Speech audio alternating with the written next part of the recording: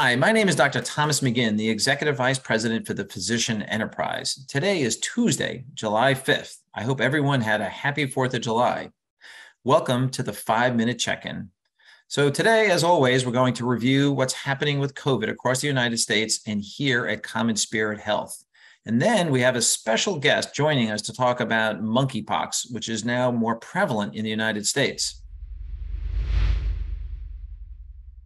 So, as we look at the numbers across the United States, cases overall are flat, but there is regional variation. In the Northeast, those numbers are coming down. In the South, those numbers are coming up. Interestingly, hospitalizations and mortality are basically flat. A new variant, BA4 and BA5, are on the rise. And that gets us to this question of vaccinating specific to the COVID Omicron variants. And they're looking at having those new vaccines for the fall.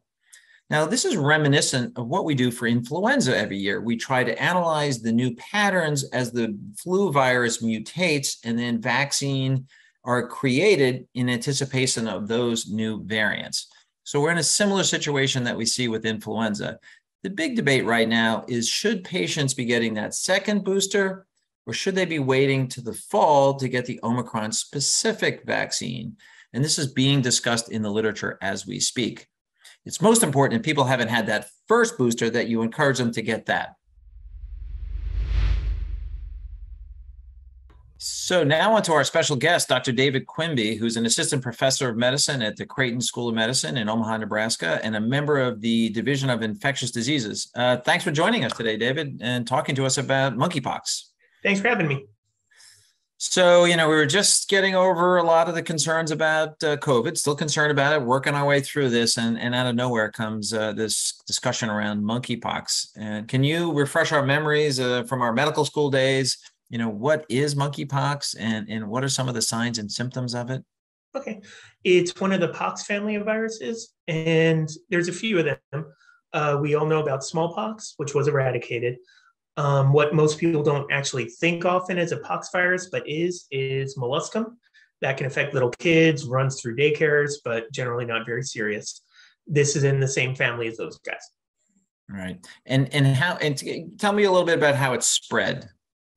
It's generally spread by contact from an open lesion, but because people can have open lesions in their mouth or in their throat, you could also do it by droplet spread there's a theoretical small risk of true aerosol spread. So mm-hmm. if somebody's in the hospital with it, it's recommended they're in isolation for that. But it tends to be really more contact or perhaps close exposure to droplets.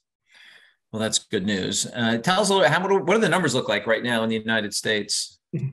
As of July 1st, uh, we've had uh, 460 cases diagnosed in the United States. Worldwide, with this outbreak, a little under 5,800.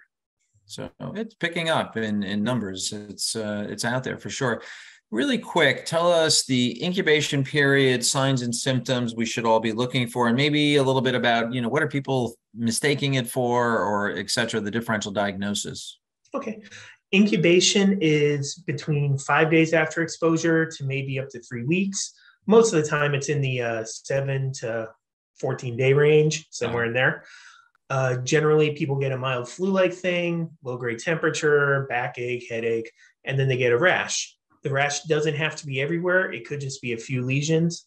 And with this outbreak, as opposed to earlier historical ones, there seems to be more in the uh, genital or rectal area, depending on that's how people were exposed.